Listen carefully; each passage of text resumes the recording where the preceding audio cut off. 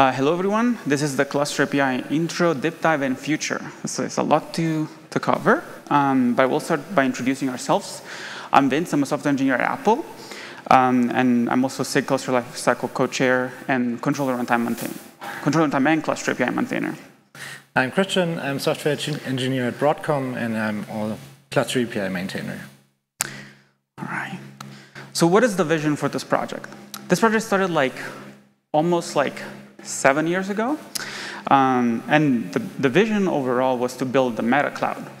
What it, we're getting really close to what it is today, which is we have declarative APIs, they're production ready, so you can use them today in your production workloads.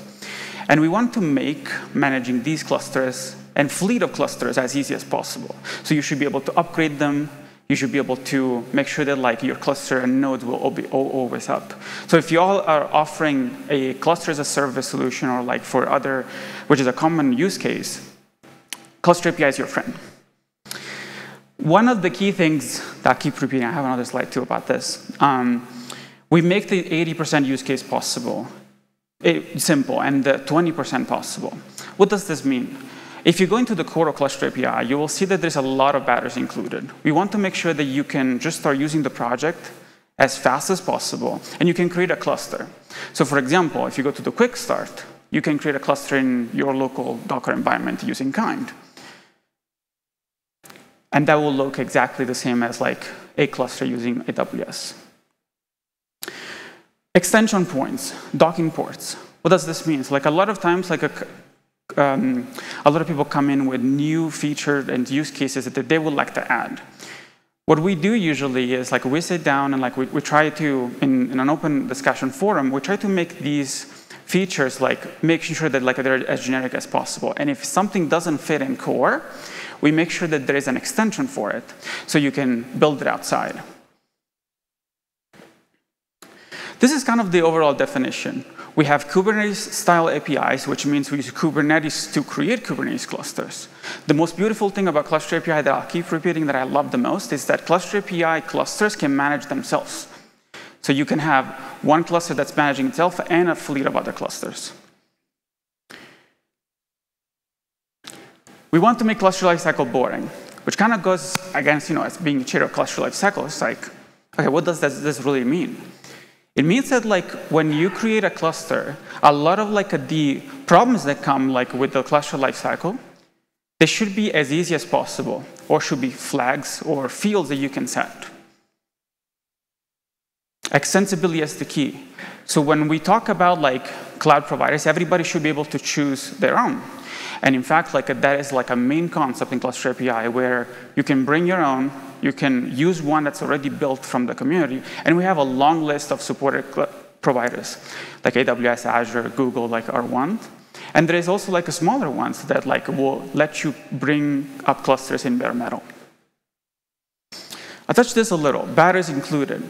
The, when you go into the repo, the first thing that you will see is that like we use KubeADM, which is within SIG cluster lifecycle, we use KubeADM to create these clusters and manage the lifecycle of clusters. The biggest thing that, that you will see also is that we manage control planes, and we try to do that safely. When KCP, KubeADM control plane, it's included in Cluster API, and you can use it today to create scalable control planes. What happens during an upgrade? There's a lot of operation that happen during an upgrade that like need to be managed safely. So for example, who has been burned here by like an etcd member leader election. We try to do that safely within KubeADM control plane so that when you roll out like a new, a new control plane from one version to the other, we run an extensive amount of checks to make sure all the versions are what they should be. It is production ready. It has been used like by, there is a blog post that was uh, put together like a few years ago when we went to production ready where a lot of companies put in their use cases and how they use it in production. I'll touch a little bit more on this later, but the best, our best feature is the community. This product like wouldn't, wouldn't be here if it was for like all of you, like a given feedback, contributing in like any shape or form. Here's like some high-level numbers. This is just the last year. While Cluster API is reaching maturity, so like these, these contributions like are starting to, to slow down from what we have seen in previous years, we have had almost 24,000 contributions uh, uh, with commits, comments, PR reviews. People are really coming together. There is 350 active committers that have committed at least like once like in the, in the repository. And across all the Cluster API repository, we have reached like almost 5,000 5, stars. So how does it work? As I mentioned, like you have a management cluster that can manage all, all of the other clusters. The goal here is to make sure that you can span all your cloud providers. So you can really be agnostic. Now, there will be differences between how these providers behave, but we do have contracts in place, and we run some sort of conformance for Cluster API itself so that the base operations, for example, scaling up your node pools, auto-scaling them as well, they, they behave exactly the same across these clouds and bare metal. There's a lot on this slide. But as I mentioned, everything has to be pluggable. So when we talk about core controllers, we have the cluster, machine deployment, machine set, and machines. This kind of resembles something that you probably already know, which is Kubernetes deployments. So you have a deployment, a replica set, and pod usually. In this context instead, we're managing actual machines.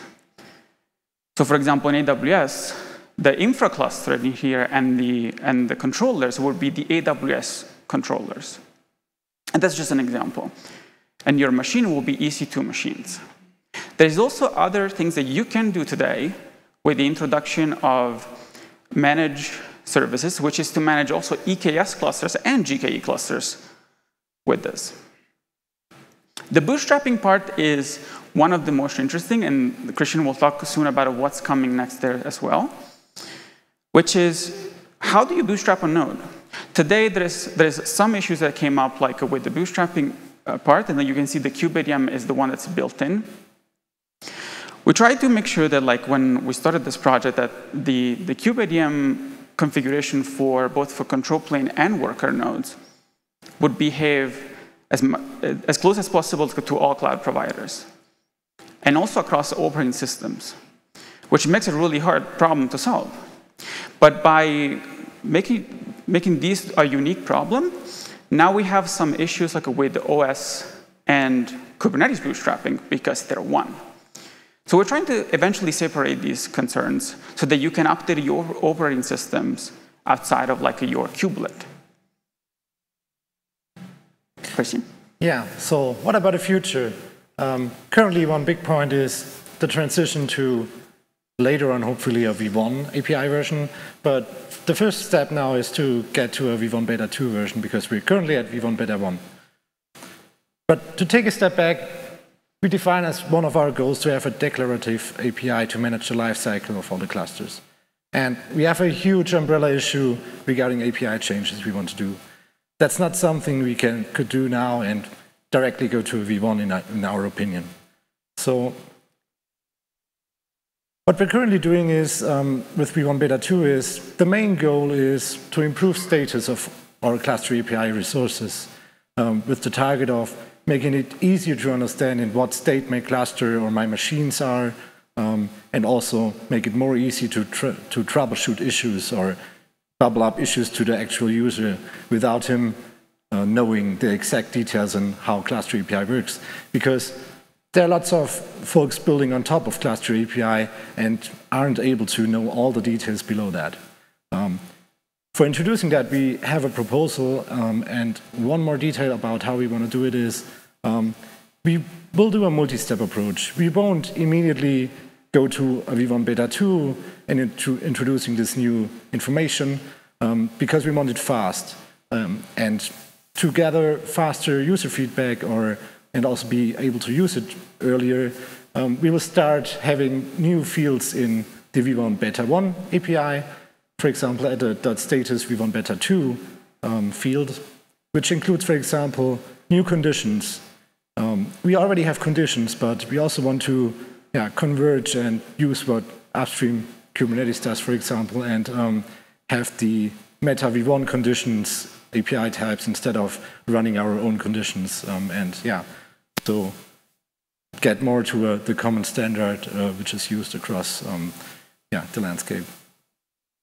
Uh, we plan to have this into the V1.9 release um, and currently hardly working on getting all that into uh, the release. Um, so there will be lots of new stuff there. It's not only about conditions, it's also about other fields like replicas or so on.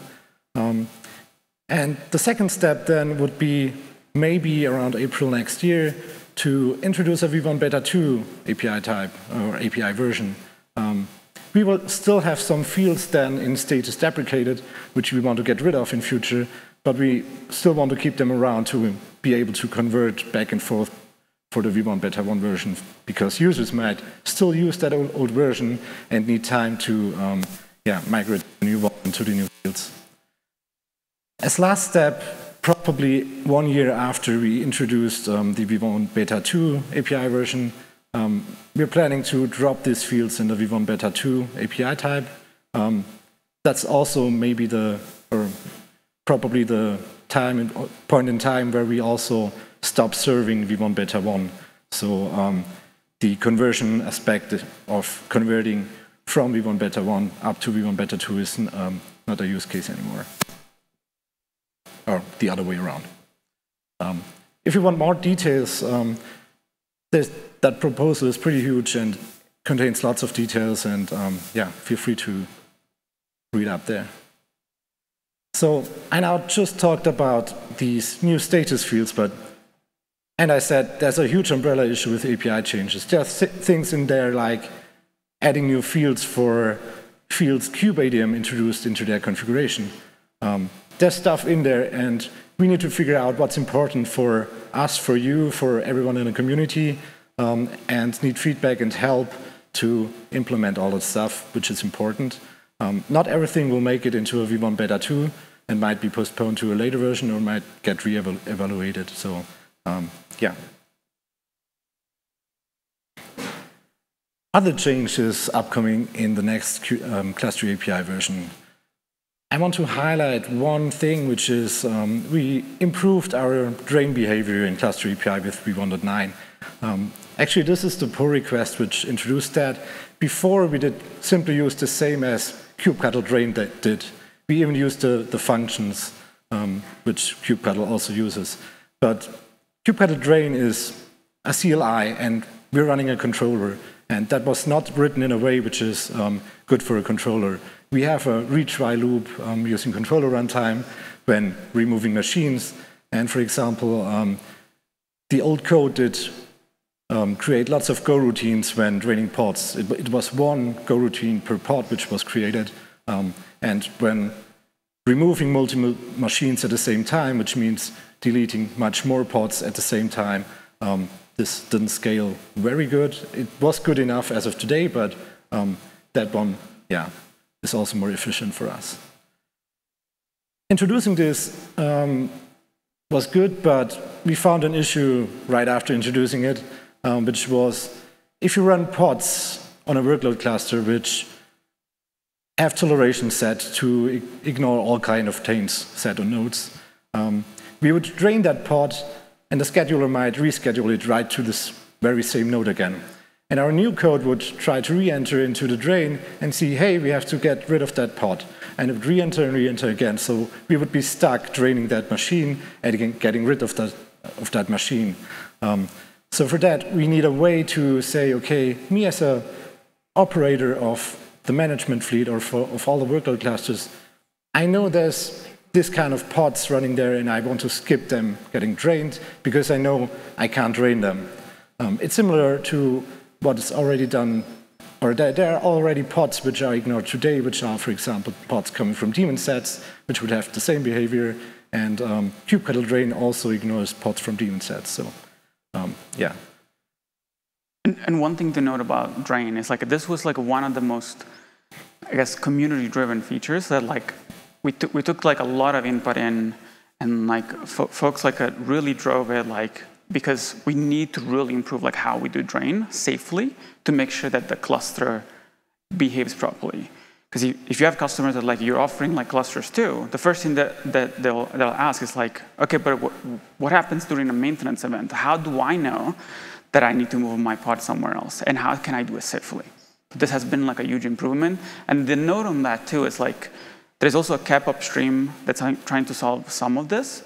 Um, and we're trying to feed input like on what we found in Cluster API. Yeah, and one more point to the drain. Um, what is also improved is the status we have when in the machine when it's getting deleted, and we can, we can now report up that, for example, a PDB is blocking a pod from getting drained, and that's the reason why the machine still exists and is not yet removed. So to solve this issue with these pods, we came up with a proposal and an implementation of a CR called machine drain rules. And as Vin said, there were more use cases than only skipping um, draining pods. Um, there was also the use case brought up via issues in our re repository, which was, I have an application running in my workload cluster, and I need to ensure that this one is the last one which is getting drained in my cluster when the machine gets deprovisioned. Um, or it could also be the other way around. I have certain pods I want to get drained first. Um, so that's the second use case the machine drain rules try to accomplish. And um, maybe to show a quick example, this is, we implemented this using a CR, um, which is a namespace CR. And you can define a drain spec which says, okay, I either want to skip pods I want to select, or I want to set a certain drain order. And you can create multiple machine drain rules selecting different kind of pods. So also different teams could define their own machine drain rules if they have to. Um, and then select uh, basically in the management cluster based on either you want to apply this rule to all machines in this namespace or to a, a subset of machines in this namespace or to specific clusters in this namespace or even to specific machines of a specific cluster. That's the power of uh, the selectors we have here.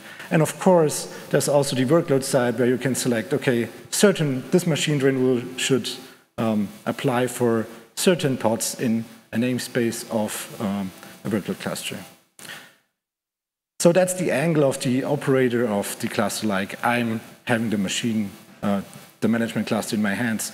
If I'm an application team and maybe only have access to the workload cluster and to my pods, we also have a label now in place which also allows you to say, okay, I know this pod is gonna tolerate all kind of things. Um, I want to say, hey, cluster API, if you are draining this machine, just ignore this pod. I know what I'm doing, um, and just ignore it. Um, to note, that's only a feature of draining via cluster APIs. It has nothing to do uh, with kubectl drain. We open an issue, though, to maybe have a standard there in future. So that was about re, um, recent feature. There's another topic I want to talk shortly about, which is in-place upgrades. That's something often coming up in the community um, as a thing. But first, to take a step back, in Cluster API, we love immutability because, um, yeah, it's predictable, consistent. We can easily reason about what, what's happening or what's the desired state. Um, and one good thing about that, which is also the same like for running containers via pods, is um, we prevent machines for getting a snowflake. Like earlier we managed everything, maybe running SSH and installing things. And if I, each machine may, might yeah, have difference, then that's something we um, have kind of solved um, using Cluster API, as long as you don't SSH in afterwards, of course. Um, and we already do some in-place um, stuff with cluster API, like we propagate down fields if you change something on a machine deployment, um, like labels of machines, it gets propagated down to the machine object without needing a, a whole rollout. There's also something, for example, when machines get deprovisioned, where we change something of the node in the workload cluster, which is setting a certain taint that new pods might not get scheduled preferred on the, to that node. So we kind of already do some in-place things, but yeah, and that's the huge but. It doesn't solve everything. So there may, might be other complex um, use cases like I have my VMs and I just want to scale up CPU or just want to scale up memory. Um, scaling down would be a whole different thing again because, yeah, do I have enough resources to scale down? Scale up is a kind of, of an easier one, but that's currently not possible with Cluster API and other use cases for sure, too. And here the huge disclaimer. Um, we have a proposal here. That one is still work in progress. progress. It needs feedback and contributions from the community uh, to make it happen. Um, it's kind of, we kind of try to address this problem in a way which is extendable. Um, and because there's no one um, solution for this whole problem. Um, and yeah, I don't want to dig deeper into that now because um, I think that could deserve a whole other talk or workshops and so on. Um, but yeah, feel free to read up there, um, engage uh, and help on making it happen if it's important for you. Yeah, and with that, um, I think we're at the end of the talk, but happy to take questions. We should have some time for it. Yeah, 10 minutes. Also, there's the QR code for providing feedback to the talk. I think there's a microphone in the middle if uh, folks want to.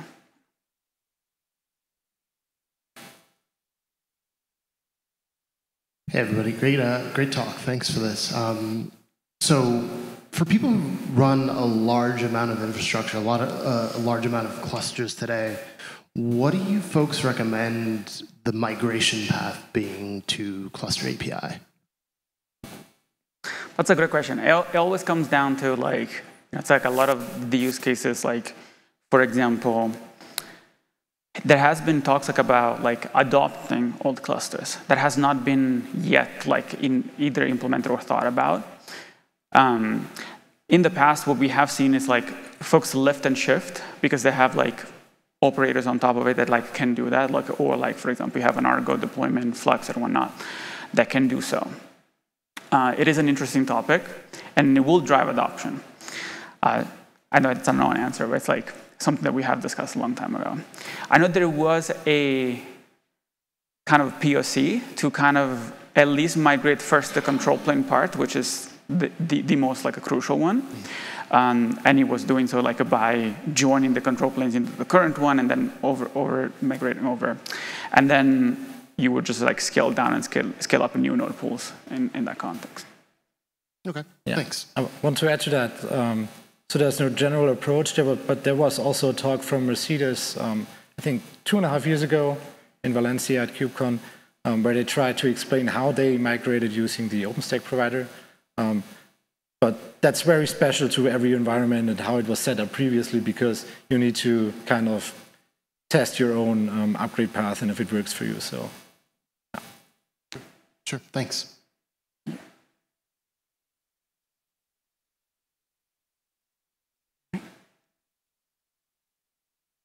There are no any other questions. I think we can call it. Right, We'll be available around for, for yeah, feel free to reach Thank- out. Thank you.